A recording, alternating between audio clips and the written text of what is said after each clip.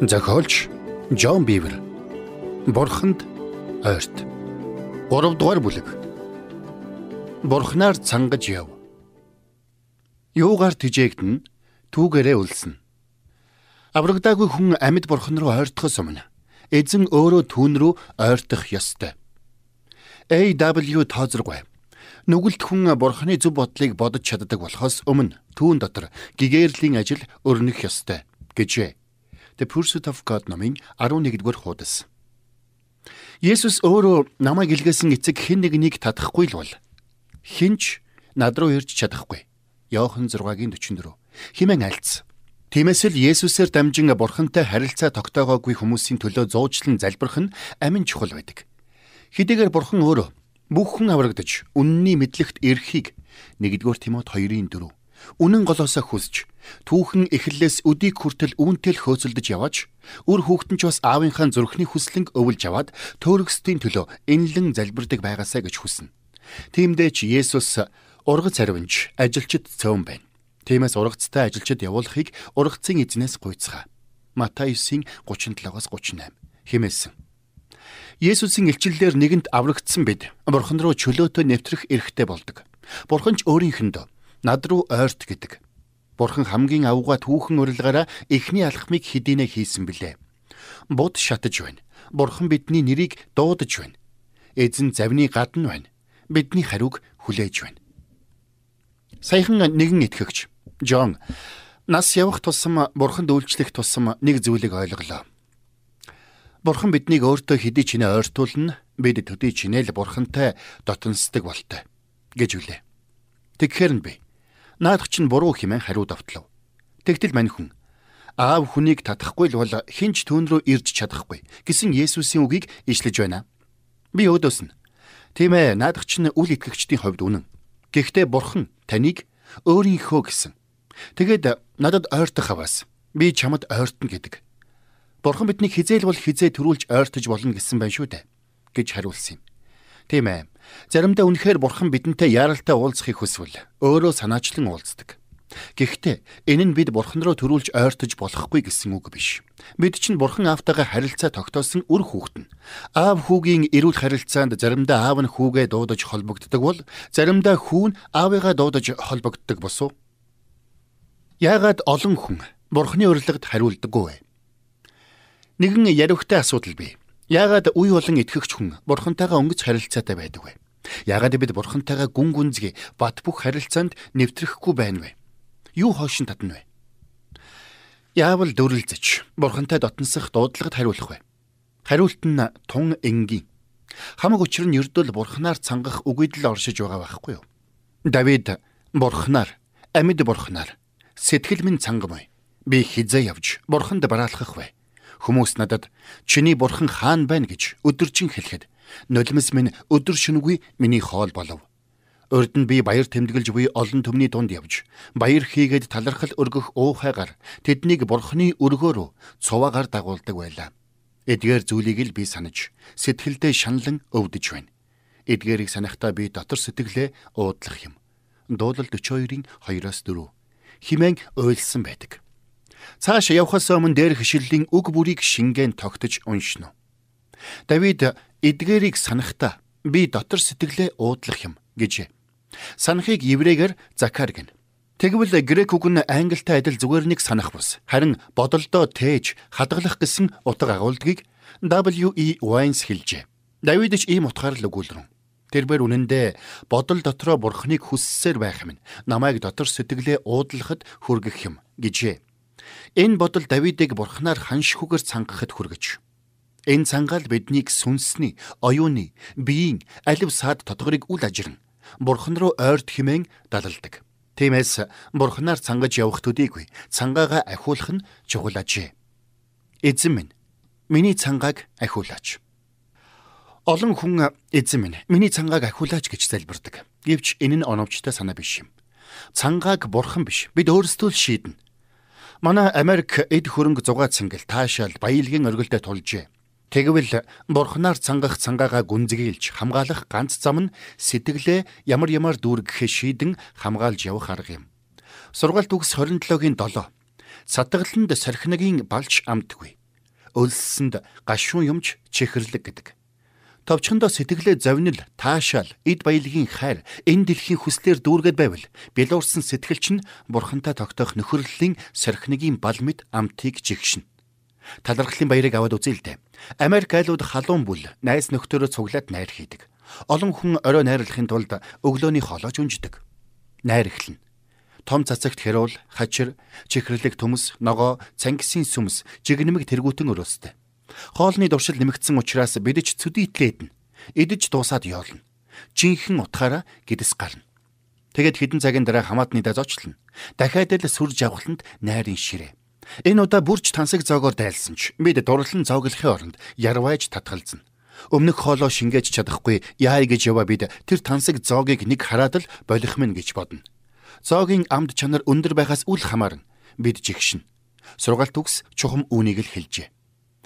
Цаашаа явхаас өмнө энэ ойлголт пропорционал гэдгийг мэдэх хэрэгтэй.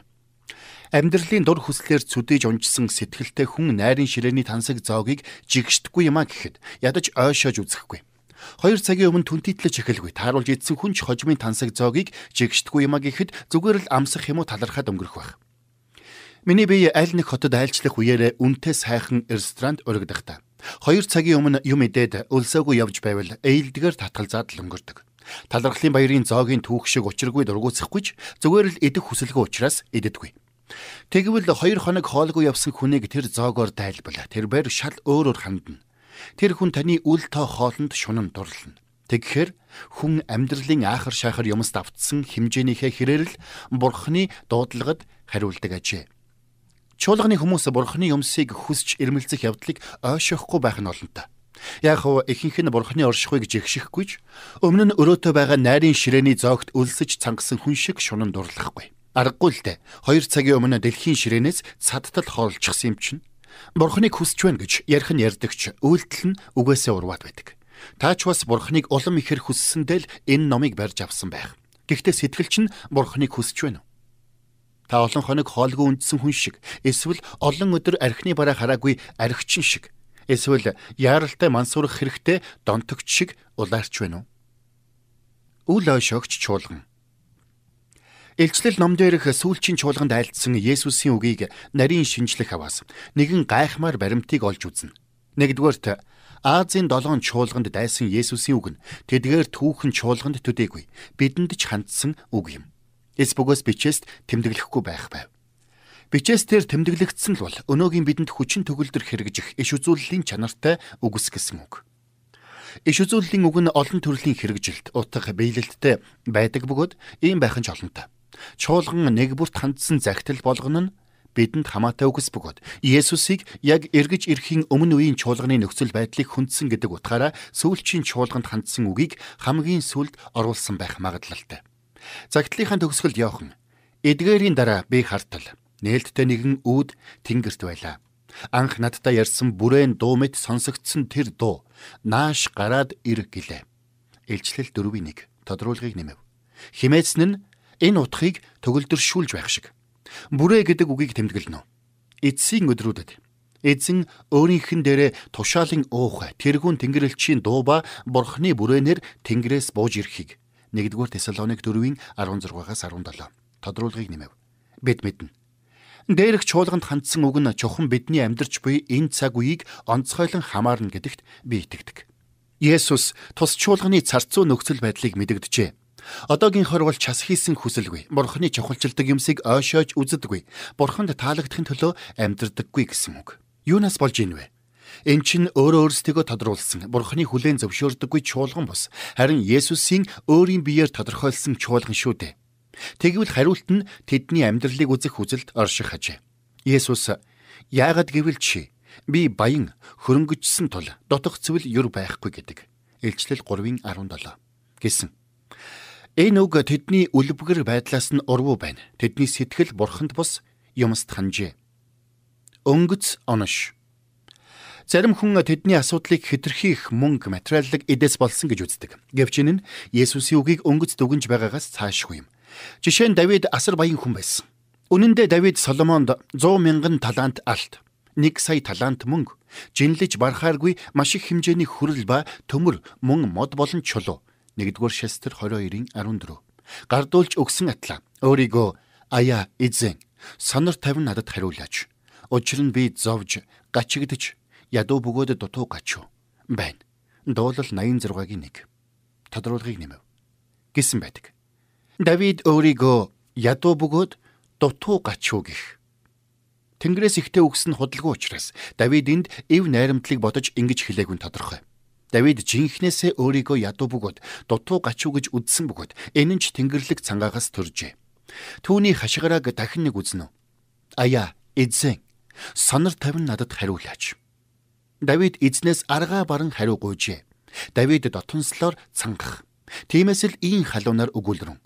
Хүмүүс надад чиний бурхан хаан байна гэж өдөржин хэлэхэд нулимс минь өдөр шөнөгүй миний хоол болов. Дуулал 42-ийн 3. Лаодикийн чуулганы асуудал нь материаллык юмс бус. Харин материаллык юмсаар сэтгэлээ цатгсанд нь оршиж байв. Давид ийм юмыг хизээж зөвшөөрөөгүй. Давид үлэмж баялгаар сэтгэлийн дор хүслээ цатгаагүй. Гэтэл эд баялгаараа Давидэд хол хаягдах Лаодикийн чуулган өчүүхэн юмдаа хахтал цадчихжээ. Энэ нь ч тэдний бурхны оршихуй нөхөрлөлд улайрах хүсэл тэмүүлэлд нь саадулжээ. Эристис ялгаа. Би ийм явдлыг өнгөрөх 20 жилийн хугацаанд баггүй харсан. Нэг удаа Канадын хойд нутгаар амьдардаг Кри гэдэг уугуул омгийнхан дээр зочлов. Тэд нутаг заалхан суурьшсан сүүлчийн хойд Америкийн уугуул омгийнхан. Үнэн дээр тэр сайхан хүмүүс 20 жилийн өмнө л уртсандаа амьдран сууж хандгаан жимээр нүүдэлдэг байжээ. Хөрөнгө чинээгүй эгэл жирийн хүмүүс. Тэд 10-ад жилийн өмнөөс л даруухан суудсандаа зурагт гэдэг юмтай болж эхэлжээ. Цуглаанд маань мянгад хүн оролцов. Би тэнд хэдхэн хоногтой нэг хажин үзэгдлийг анзаарч үлээ. Тэнд байсан 20-оос дээш насных нь бараг бүгдээрээ бурхны юмсаар ер бусаар цангасан хүмүүс байв. Хойд Америкийн бусад хүмүүстэй харьцуулах юм биш. Бурхныг таньж мэдхийн бөөн бөөн хүслэн Гэтэл 20-оос доош насных нь юугаарч цангасан янзгүй. Бүр нэг үл ошоосон янзтай. Нэг цуглаан дээр үгийн маш хүчтэй тосолгоо буув. Том майхан дотор байсан хүмүүс ч зогсолтгүйгээр залгилж байлаа. Гэтэл нэг харсан чинь майхны гадна бас араар баахан үл тоосон залхсан залуус. Яг хав залхмаар номлол байдаг л да. Гэхдээ энэ тис өөр тохиолдол байлаа. Ариун сүнс ер бусын хүчээр бурхны үгийг тунхаглаж байв. Тэгсэн би нэг л мэдхнэ. Өөрөө ч мэдлгүй. Өлсөн хүмүүсийн игнэн дундуур зүссээр майхны захад байгаа залуус тэр оччихсан зогсож байлаа. Тэгэд хурчрээд сонсхийг гойж говьшсан боловч тэд намайг яг л амьдрал мэдэхгүй. Маанаг амтан гих шиг л ширтэж зогссон юм. Яг тэр үед л би тэдний чөлөөд цамд сарвчтай малгайг анзаарав. Өмсгөл дээрх бичээсэн товоож гэрэлтээд унах шиг л болж үлээ. Хувцс нь мэрэгжлийн сагсан бөмбөг, Америкийн хөл бөмбөгийн олон янзын багийн лого тэмдэгтэй байлаа. Тэр хүүхдүүд зургатаар үзэж байгаа юмстай цадаад самурч явдгийг нь ариун сүнс надад харуулв. Залуус өөрт ямар ч ашиггүй юмсаар сэтгэлийнхээ цангааг дарж явдаг нь даанч гонигтай. Гэтэл арай ахмад хүмүүс нь зургтын дуршлаар өсөөгүй. Энэ явдал надад 20-оос дээш болоод доош насны хүмүүсийн ялгааг ухааруулж үлээ. Миний санааг зөвөр ойлгохыг хичээгээрэй. Бидний өсөлт цангаанд зурагт гэхээсээ зургтын дуршил маань л хор хөнөөл болдог шүү. Манай гэр одоо зурагттай л та. Гэхдээ гэрлээд олон жил зурагтгүй амьдардаг байлаа. Би чин зурагтын олон төрлийн нэвтрүүлгээр боловсрч гэгэрдэг хүн. Зурагтын ачаар л даян дэлхийн хэрэг явдалтай хөл зэрэгцүүлдэг. Гэхдээ зурагт намайг тижээж цатгадаггүй. Зурагт миний дуршил биш. Би зурагт үзвч бурхны юмсыг үгүйсээр ариун сүнстэй харилцаар байдаг. Хар бор амьдралтай тэр залуу хүүхдүүд дуршлаа ямар ч ашиггүй юмд өгчээ. Энэ аяллаа дараа би Америкийн баруун хойшоо аялсан юм. Намайг 5 дахь өдрийн орой амлахыг хүсв. Цуглаан зөвхөн чуулганы хүрээнд болсон ч тэнд өсвөр насны 500-аас 700 хүүхэд оролцсон нь намайг алмаарахад хүргэв. Цуглааны дараа намайг хэдэн арван хүүхэд бусалж аваад л сүнслэг юмсын талаар шалгааж үлээ. Цагааны картел шүн дунд болж байлаа. Тэгэхээр би цуглаан тарснаас хойш бурхны талаар маш удаан ярьсан байв. Эцэстээ би ирэхгүй ямар сайхан юм бэ? Та нар бурхнаар үнэхээр цангаж химэн дуу алдаж үлээ. Хүүхдүүд намайг маргааш явхаас минь өмнө хоолнд өрөв. Би татгалзаж чадаагүй учраас хүүхдүүд рестораны дээд давхрын томоо өрөөг захиалаад тэнд бидний яриа үргэлжилсэн юм. Үнэхэрийн сэтгэл сэргээм шинэлэг үзэгдэл байв. Баруун хойд нутгийн эдгээр залуус улаан арист залуусаас хавьгүй их юмтай атла. Бурхнаар хавь илүү цангаж байсан нь тэр хоёр бүлэг залуусын цочир ялгааг харуулах шиг. Тэгвэл баруун хойд нутгийн чуулганы 20-с дээш насных нь харин эсэргээрээ залуус шигэ үлэн биш байв. Тэд яагаад намайг бүтсэнгүү вэ? Яагаад өсвөр насных нь томчуудаас олон байв? Магадгүй томчуудынх нь сэтгэл амьдралын зовнил таашаалда дарагдчихсан байсан байх.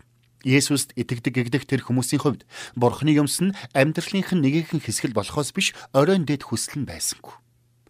Гэтэл цуглааны дараа тус чуулганы залуусын пастор тэрхүүн пастор хоёртой уулзах үед л бүх зангилаа тайлгдсан юм. Тэрхүүн пастор нь өөрийгөө томчуудын дунд ховилсан бол залуусын пастор нь өөрийгөө залуусын дунд ховилсан нь тодорхой болов. Тэр үед Хосеа 4:9 нүдний минь өмнө бууж үлээ. Ард түмэн ямар байна? Тахилчдж тийм байна. Ямар тахилч байна? Тийм хүмүүс байна. Тахилч нар нь ёрын муу учраас хүмүүс ч ёрын муу байна. NLT Библи. Тодорхойлбол ямар пастор байна? Тийм хүмүүс байна гэж хэлж болно. Пастор нь халуун хүсэлгүй бол хүмүүс нь ч үл ойшогч нар байна.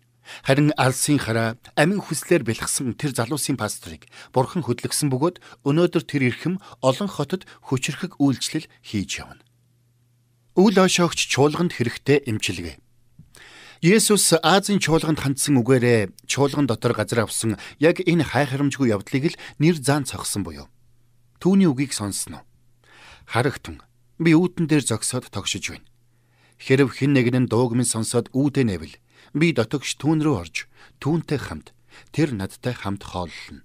Илчлэл 3:20.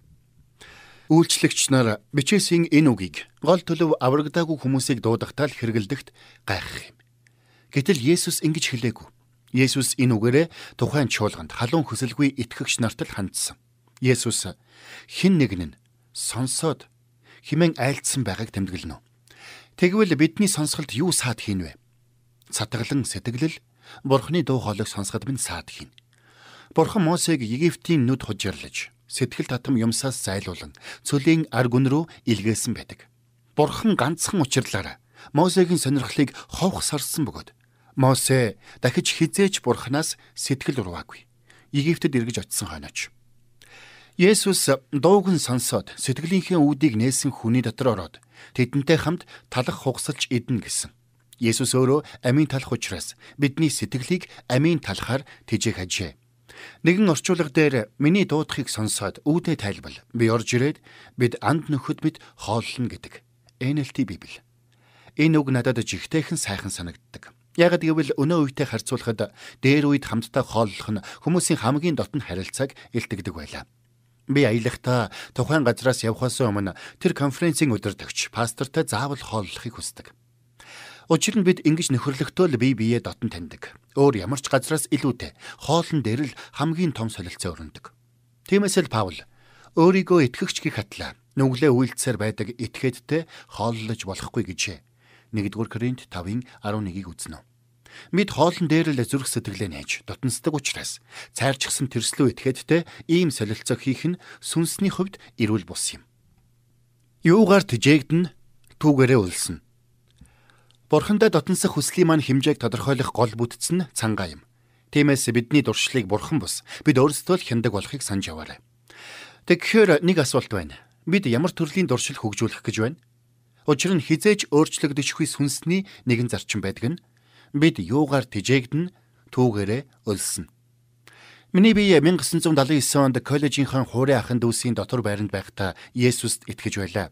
Нэг удаа байрныхаа гал тогоонд идчих юм хайж байтал чиний бие миний сүм учраас тордоорой гэж хэлхийг сонсч үлээ. Тэр үед би түргэн хоолны мангас байлаа. Ямар нэгэн юмд дондчихсан хүнийг мангас л гэвэл зохих байх. Дуртай учраас л эрүүл бус хоол идэнэ. Хийж үлсэн ундаа, чихэр, түргэн хоол, хөөмөл цагирган боов, өөх тос ихтэй хоол, цагаан гурилан бүтээгдэхүүн гэх мэт дандаа болж бүтэхгүй бүгдийг идэнэ. Дуршил маань ч хамгийн л эрүүл бус гэгдэх бүхэнд хөдлөнө том бургер, коло, шарсан төмсөл миний дурлалт хоол байлаа. Гэтэл бурхны тэр үгээс хойш миний бие чинь минийхээс гадна бурхны сүнсний гэр болохыг ухаарсан юм. Тухайн нь би үнэтэй машинда хизээж хог холцтой, муу шатхуун, дахин хэрэгэлсэн тос хийхгүй шүү дээ. Машинаа урт удаан хэрглэж сайн сайхан байлгахын тулд хамгийн л чанартай шатхуун тос хийнвцтэй. Тэгээд ч машиныг дахиад авч болдог бол миний бие чинь орлуулагдагшгүй цорын ганц хов шүү дээ. Тэгээд тэр дараа идэж уух хэв маягаа өөрчилж эхэлж үлээ.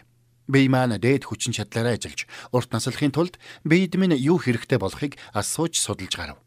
Энэ бүхэн үргэлжилсэн үйл явц байсан боловч хэдэн жилийн дараа миний идэж уух хэв маяг бүрэн өөрчлөгдөж үлээ. Гэтэл миний мэдээгүй өөр нэгэн нэмэгдэл ашиг гарсан байв. Эрүүл хоол нь анх амнаас унчих гээд муухай санагддаг байсан ч бид хэрэгтэй учраас идсээр байлаа. Хэсэг хугацааны дараа миний дуршил өөрчлөгдөж эхлэв. Өмнө нь надад төргөн хоол юм уу шинхэн ногооны салаад, загас, бүхэл өрийн талах бүхий эрүүл хоол өгсөн бол би шууд л эрүүл хоолноос татгалзаад бүргэрийг нь шүүрэх байв. Харин өнөөдөр би төргөн хоолыг нь авч хэлэлцэхчгүй. Шууд л эрүүл хоолыг нь сонгоно. Үнэн дээр өнөөдөр аялж явахдаа төргөн хоолноос өөр хоол олдохгүй бол би юу ч идэлгүй явчихдаг. Төргөн хоол идснээс өлсөж явсан нь дээр баха. Би төргөн хоолнд шунхаа бүр байсан. Үнэн дээр шал дургу болсон. Тэгвэл сэтгэл тал дээр ч яг ижил зарчимтай. Сэтгэл маань тижээгдэж байгаа зүйлдээ л шунана. Спортын дуршилтай бол ESPN сувагт шунана. Холливуудын киноны дуршилтай бол киноны суваг, сэтгүүл, ярианд л шунана. Бизнесийн ертөнд сүүлийн үеийн үйл явдлаар тижээгддэг бол түүгээр л цангана. Гэр орон, машин, хувцас гэх мэтэд цаддаг бол дэлгүүр хэсэх, шин машин авах, засал чимэглэл гэхээр л нүд чинь асах бөгөөд сүнслэг юмсын талаарх яриа ямар ч утгагүй санагдана. Бичээс унших, ганцаараа залбирах гэж үүлээ үзнэ. Харин бурхны үгээр тогтмол хоололдог бол залбирах цаг гаргах нь амархан, сүнслэг юмсын талаар ярих нь зовлонгүй. Аяндаа л урсна. Бурхны оршихуйд шунаж, бурхантай дотносхийг хүснэ. Эрүүл бус туйл. Гэхдээ эрүүл бус туйл руу хадуурах явдал бас гарна. Бид чинь бодтой бие дотор амьдардаг хүмүүс. Бидэнд үе үе эрүүл зугаа цэнгэлэх хэрэгтэй. Миний бие Библийн сургуульд байхдаа 7 хоногт 44 цаг ажиллаад хажуугаар нь баахан хичээлтэй байлаа. Нэгэн бүтэнсэ өдөр өрөөний найз минь намайг хамт хөл бөмбөг тоглоё гэв. Би ч Библийг уншиж залбирмаар байсан болохоор татгалзлаа. Тэгээд яваад Библийг уншаад залбирах гэсэн чинь таг. Бурханаас юу ч сонсдоггүй. Уншаад байгаа үг маань ямар ч утгагүй, хүндий хоосон санагдана. Өрөөний найз маань яваад цаг гаргуулжээ. Би ч эзэн минь би яагаад бичээсээ уншиж чадахгүй, таны дуугч сонсож чадахгүй байна. Яах нь вэ? Би танд таагүй юм эсвэл гим хийчихсэн үү? гэж ирээд л уйлан дуу гаргалаа. Гэтэл эзэн надад явж хөл бөмбөгөө тогло гэхин тэр. Би ч зог тусаад юу? Хөл бөмбөгөө тоглоо? Тэр чинь миний итгэлийг байгуулахгүй. Тань руу ч ойр тулахгүй. Та яаж надад ийм үг хэлдэг байна л гэлээ. Эзэн намайг дараах ишлэлдээр авчиртал энэ ишлэл миний өмнө амьлаатгав.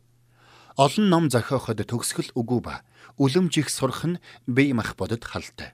Номлогч югс 12:12 тодруулахыг нэмэв.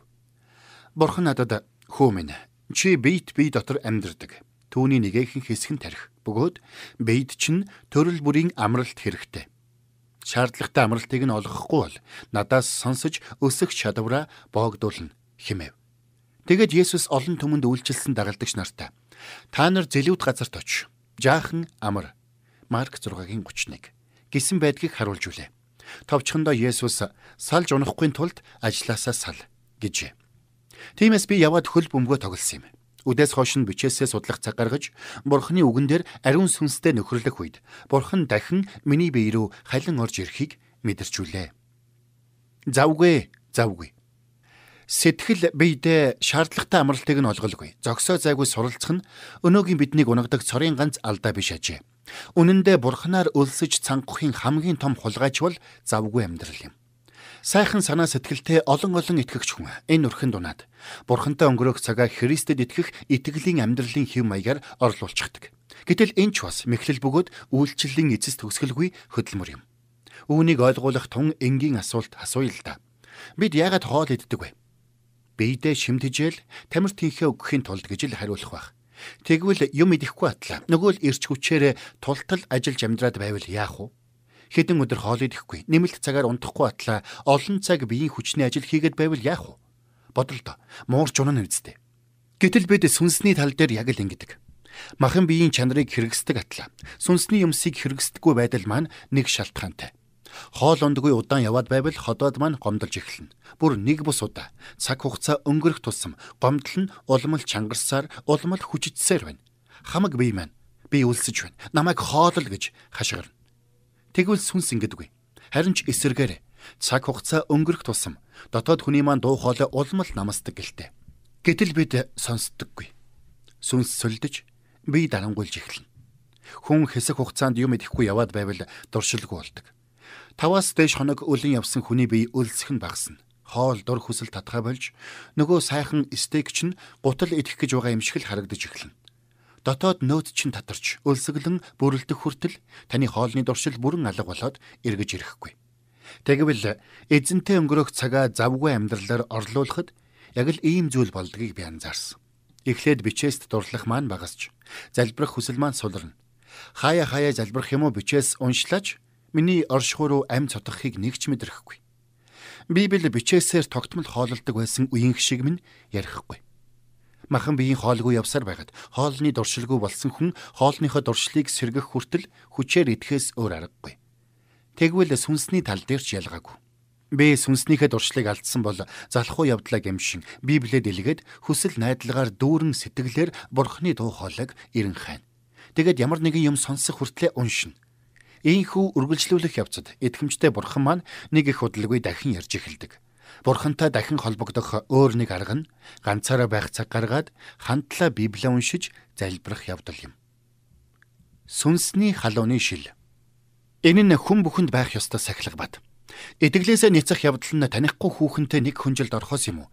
Арх порногоос салхаа болсноо олж мэдхэс эхлэхгүй. Эсвэл хайртай хүнээ жигшиж, үр хүүхдээ хаях гэх мэт явдлаас ч үүдэхгүй. Үгүй юм. Итгэлээсээ ницэх явдал нь бичээсийг болоод бурхны юмсыг үл ойшохоос эхэлнэ. Бурхны юмст бус амьдралын жирийн юмст дурладаг болохоос эхэлнэ. Өлсөө цангаан сүнсний халууны шил юм. Амьдрал дээр яадаг үлээ?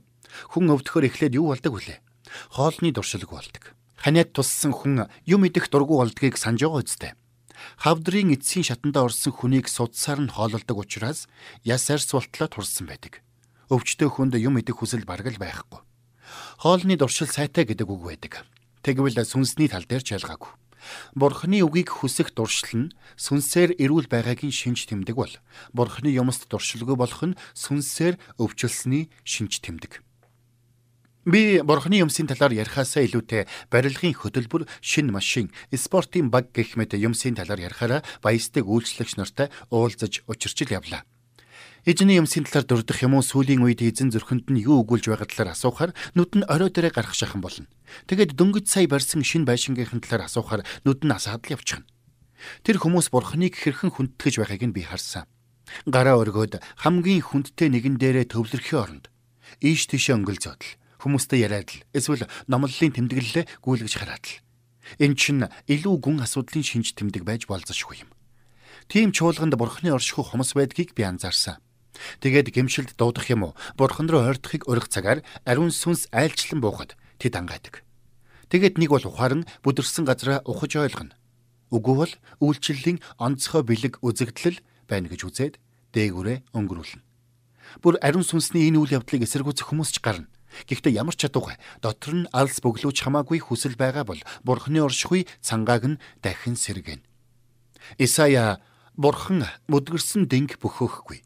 Исая 42-ын 3 гэдэг.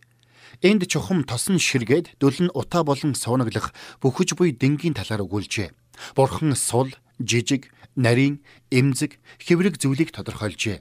Гэтэл бурхан дөнгөж улалзах цогийг унтрааж орхилгүй. Харин дахин асаадаг аж. Биднийг юу юугүй унтрах гэж байгаа цог байгтаж бурхан бидэнд анхаарсаар байдгийг санаж яваарай. Тэгвэл бид бурхантай гар нийлээд хариу үйлдвэл хичнээн сайн бай. Учир нь бурхан бидэнд өөрийгөө тулгахгүй. Би энэ явдлыг олонтой хардаг. Олон хүний дотор унтарч байгаа галыг нь эзэн дахин бадраахыг харсан. Гал нь ахин асч бурхныг эрен хайх хүсэл нь дахин бадрах хүртэл хүмүүс өөрсдийгөө ямар хол хаягдаад байснаач ухаарахгүй явдгийг чуулган конференц дээрэж олон ярьдаг. Хүмүүс ч зүрхээ хамгаалаагүй явснаа. Эрүүл зүрхийг дагалддаг дуршлаа алдаснаа ухаардаг. Хамгаас нандин зүйлээ хамгаал. Юу юунаас дээгүүр зүрхээ хамгаал. Сургаалт үгс 4:23 гэдэг. Зүрхнээс илүү сахиад манад хамгаалаад байх зүйл үгүй. Энэ үгийг бодохоор л хүмүүс үн цэнтэй эд зүйлсээ яаж хамгаалдаг нь санагдана. Бид хагардаггүй шилэн хорог доторх үнэт чулуун эдлэлийг үзсэн л байгаа. Тэдгэрийг жин температурын хамгийн өчүүхэн өөрчлөлт, хамгийн нарийн зөрчил мэдрэгдмэгц төгшүүрийн дохио дуугарч, хаалга нь автоматар түгжигддэг. Чанд харуул хамгаалттай орчинд хадгална. Хоргыг лазер туяагаар хамгаалж байдаг бөгөөд хорог хагарсан тохиолдолд зэвсэгтэй эрчүүд дайран орж ирнэ. Ийм маягаар 24/7 хамгаална. Тэр чулууг хамгаалах гэж олон мянган доллар зарцуулах. Гэтэл энэ дэлхий дээрх бидний хамгийн үнэт хөрөнгө бол чулуу биш зүрх маань гэдгийг Бурхан хэлжээ. Харамсалтай нэтгэгч хүмүүс зүрхээ ямар ч ашиггүй бүхэл хор хөнөөлтөй зүйлд зүгээр л өчгдөг. Бид хөнгөн гайгүй нүцгэлэлтэй хараалтай киног тоогчгүй үздэг. Дэлхийн сүнс нь Бурханы сүнстэй дайсхандгийг бид ойлгодгүй. Энэ тал дээр дэлхийн хүмүүс арай л ухаалаг гэмээр. Учир нь тэд үн цэнтэй гэж тооцсон зүйлээ нарийнлж нандинж хамгаалахаа мэддэг. Гэтэл итгэгч хүмүүс өөрсдийг нь жинхнээсээ хангадаг. Цорын ганц нэгнээр ангах цангааг нь хулгайлагч хүсэл тачаалаас зөрхөө юр хамгаалалгүй ажиггүй явах. Эзэн цангасан хүнийг хангалуун болгож, өлссөн хүнийг сайн зүйлсээр дүүргдэг. Дуулал 107-гийн 9. Бурхан биднийг хангахаар хүлээгээд байхад бид Бурханы сайн сайханд бус шал өөр юмст цаддаг. Зүрхээ үлэн байлгая. Бурханы дуудлагад хөнгөн хумгай хандахгүй бай. Учир нь биднийг ойртвол Бурхан бидэн рүү ойртохоо амласан. Судлах асуулт. 1. Сургаалт төгс 27-гийн 7 дээр цатгаланд сархинагийн балж амдгүй гэжээ. Энэ ишлэлийг тунгаан бодоод та өөрөө ямар зовнил, хүсэл, таашаалд хамгийн өртөмтгий эмзэг байгаагаа эргцүүлнэ. Энэ нь таны бурхны амтд сархинагийг хүсэх цангааг хэрхэн сааруулж байна? 2. Энэ бүлэг дээр зохиолч хоёр өөр чуулганы 20-с дээш болоод доош насныхны бурхнаар өлсөж цангах сэтгэлийг нь ажигласан тухайга хуваалцсан.